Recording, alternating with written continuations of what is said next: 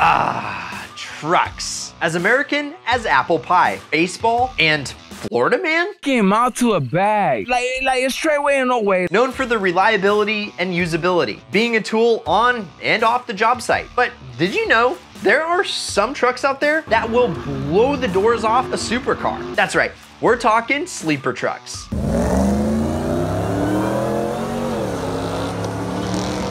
If you're new here, my name's Brad Danger. Smash the subscribe button, turn on the notification bell. Otherwise, it's great to see you guys again. Let's go.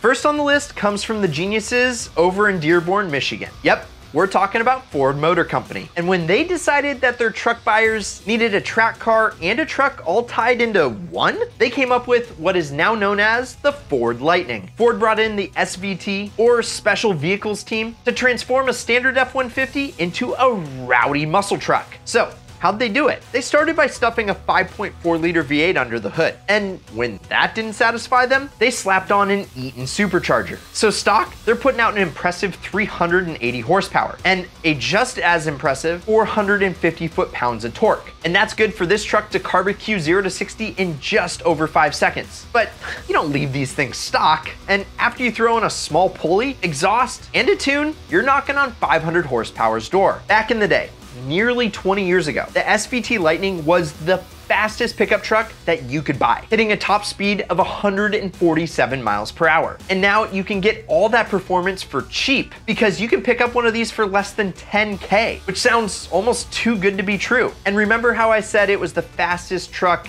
at the time? Well, this next truck took its crown. Okay, before I unveil it, I'm gonna give you guys one guess. Let us know down in the comments. What is the fastest truck of all time? Well, production truck, that is. Yeah, I knew you were gonna guess it. It's the Dodge Ram SRT 10. Dodge is known for doing dodgy things, like stuffing their muscle car motors in just about everything in their lineup. And what happens when they throw a supercar motor into their truck? Well, it pretty much set the automotive world on fire. They somehow shoehorned an 8.4 liter V10, yes, the engine straight out of the Viper, into their standard Ram pickup. And even better than that, you could get one with a manual transmission, which, if you're all about saving the manuals, like we are here at Ideal, go snag one of these limited edition tees before we run out, because we're selling these about as fast as the SRT10 could do a burnout.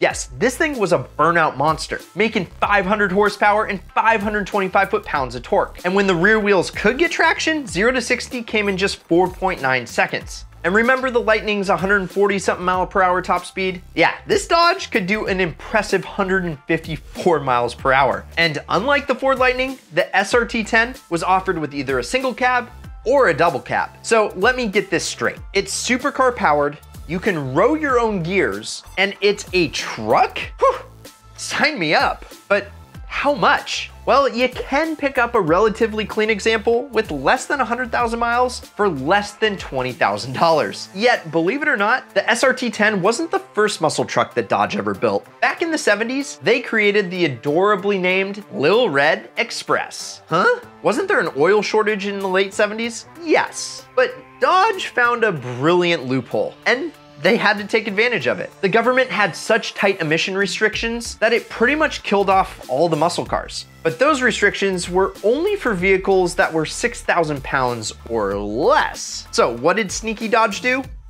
Dodgy things. They built a truck at 6,050 pounds and stuffed in a big ol' honkin' 360 cubic inch V8 under the hood. And this gave that big truck a 0 to 60 time in under 7 seconds. When this thing came out in 1978, it was the fastest accelerating American car truck SUV to 100 miles per hour. It even out accelerated the Ferrari 308 and even the Porsche 928 and 911. And with less than 10,000 units ever made, it's rarer than most of those cars. So they're collectible today. And that's not even thanks to the Lil Red Express's party trick. It had stack exhaust exiting right behind the cab. And no, it's not a diesel truck rolling coal everywhere it goes. It's essentially a straight piped exhaust with some Hemi style mufflers. So it's fair to say that these things sound pretty gnarly. And in true 70s style, it's got wood trim not only in the interior, but also in the bed. As far as the name, the Lil Red Express comes from the paint. Bright ass red. And not to mention those sick gold accents. Yeah,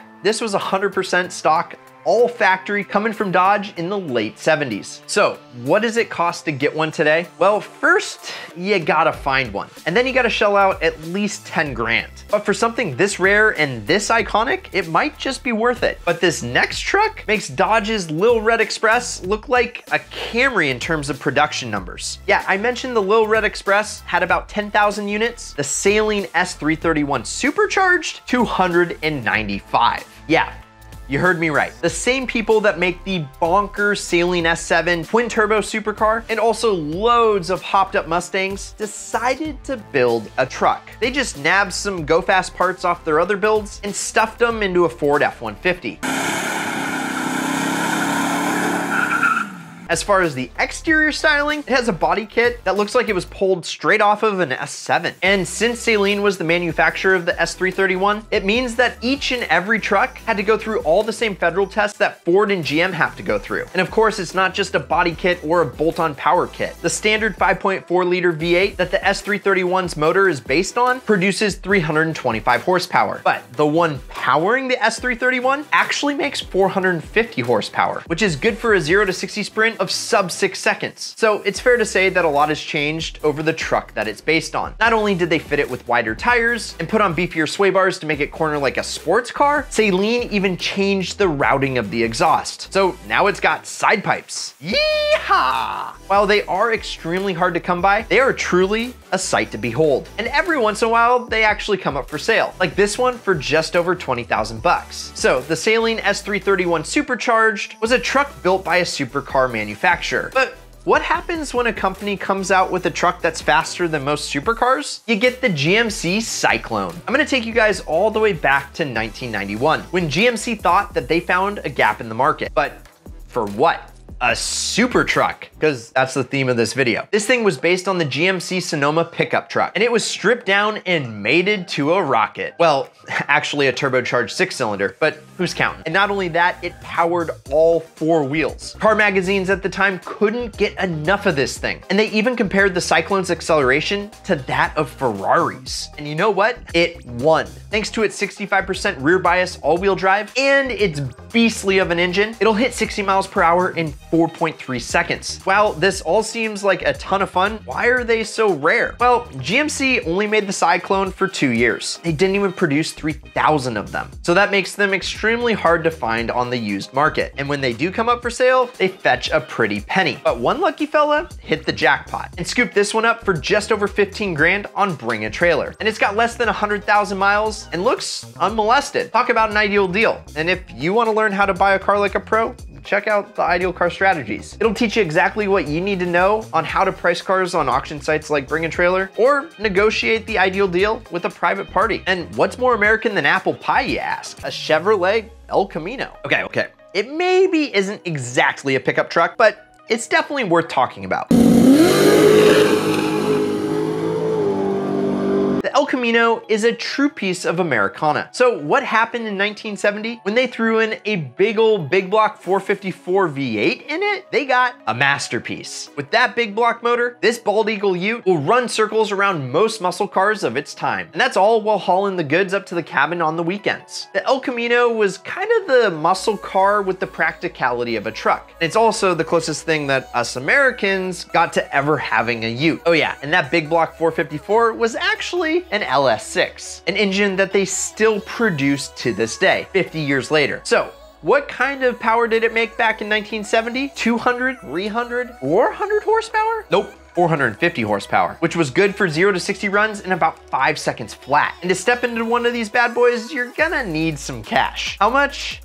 Nearly 40 grand. But you're gonna need to pay to play if you want a true piece of motoring Americana. But there are still options if you don't want an American truck. In my eyes, you really only got one option, the Toyota Tundra TRD Supercharged. But if you were to ask me, they should have called this thing the Fundra. Why? Because it's a regular cab short bed with a factory installed supercharger and a whole host of other warranty compliant TRD parts. And what Toyota did is they took the already stout 381 horsepower V8 and bumped it up to an impressive 504 horses, which pushes the truck to 60 in a mind-blowing 4.4 seconds, making it one of the fastest trucks on this list. So while this isn't a specific model of Tundra, you can still get all these parts on any Tundra and make it a Fundra.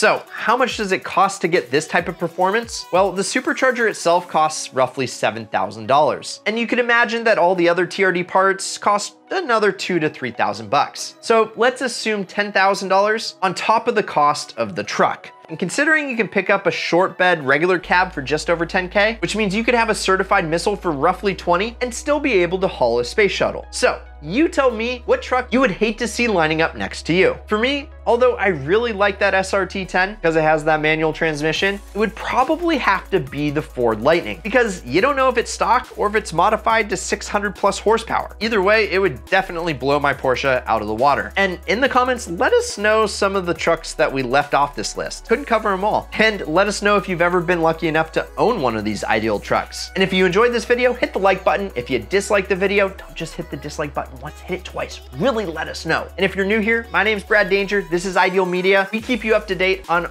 all the car buying and car content that you could ever need. So hit the subscribe button and turn on that notification bell. And as always, keep living the ideal lifestyle.